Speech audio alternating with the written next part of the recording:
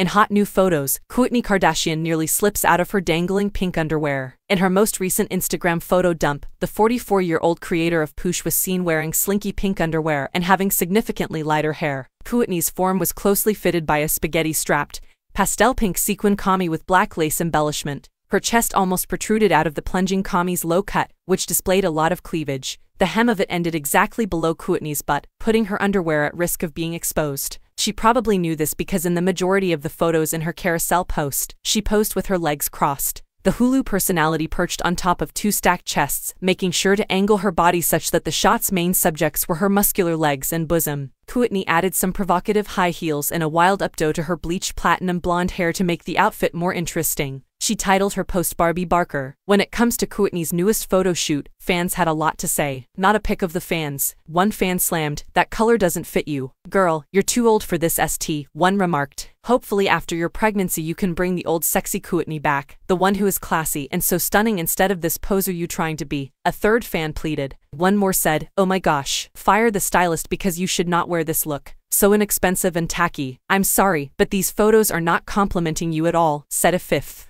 the person who applied your cosmetics requires a refresher course, and whoever did your hair has to turn back the clock. Hashtag sorry, another person said, not at all very good photos. Kourtney had a lot of detractors, but she also had some supporters. One individual defended, saying, OMG why is everyone being so mean just mind your own F king business she looks cute ass.